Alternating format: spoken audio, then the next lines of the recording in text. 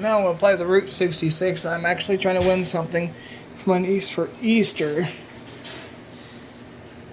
Um, the trick to this machine, in case a lot of people don't know, go for something near the chute because this thing always drops. So I'm actually going to try to win that purple smiley face down in there. I mean, I would go for this. If you look at it right away, look at the claw and plush. It's definitely going to be way too big.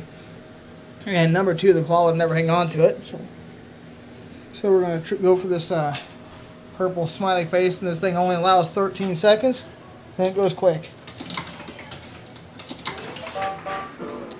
I ain't played this one in a long time. Let me check something. 10 seconds. That's good it's going to get, but I don't want it to hit that Kung Fu Panda. Let's try that. I'm off. Okay.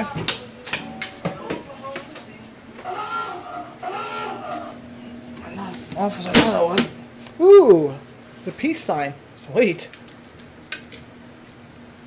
So, see, you got two prizes from Walmart, one from Flying J, one from here, so four total. Thanks for watching.